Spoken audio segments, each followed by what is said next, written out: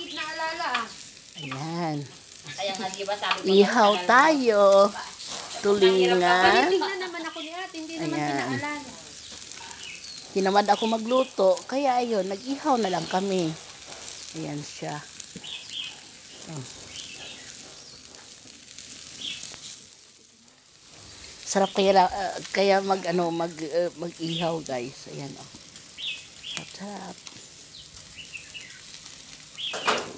May buo ako manok na inihaw. Ayan, basta, ayan o, ayan yung. Yung iba wala pa. Ala, can I talk to her online? Dalawa ko lang. Kausapon daw niya nga, Seng. Ma. Kausapin daw niya.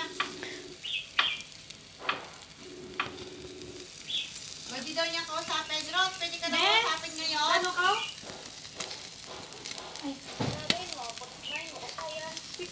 Ako niya, Martina. Wait, ano ka ng bulay? Ah, lavender, light, ano to, purple, ano? Ayan. Ah, not today. I Ang need ang to ang apat China na, today. Pari apat. Okay. Mo kasunod, no? Ano sabihin ko?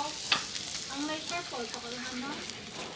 Ayan, sarap-sarap yun guys. Lalo na pag mainit. Eh.